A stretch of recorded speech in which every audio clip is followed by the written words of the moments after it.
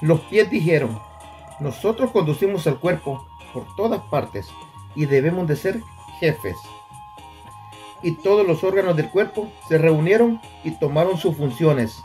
Y el culo dijo, yo también quiero ser jefe, pues me considero ser el más importante de todos.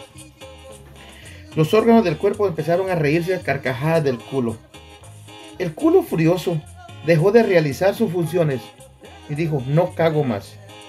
La mierda empezó a acumularse en todo el cuerpo, enfermando al corazón, los pulmones y al cerebro. De tanta invasión de mierda, nuevamente se reunieron los órganos y le rogaron al cerebro que le permitiera al culo ser jefe. Moraleja, para ser jefe no se necesita tener cerebro. Basta con ser culo y embarrar de mierda a los demás. Cualquier jefe es un culo y cualquier culo es un jefe. Recomendación. No digas esto enfrente de tu jefe. Porque él puede considerarse culo. Y te puede ser mierda.